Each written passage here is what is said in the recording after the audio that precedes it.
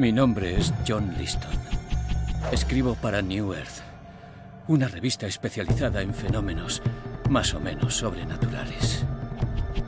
No estoy orgulloso de mi trabajo, pero paga algunas facturas. Hace unos meses me encargaron escribir sobre una misteriosa estructura metálica que había aparecido incrustada en el fondo del lago Chad. Por supuesto, mi editor tenía claro cuál iba a ser el enfoque de la revista.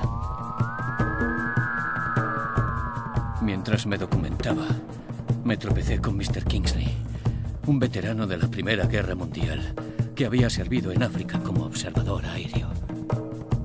Y luego conocí a Susan. Y todo se complicó.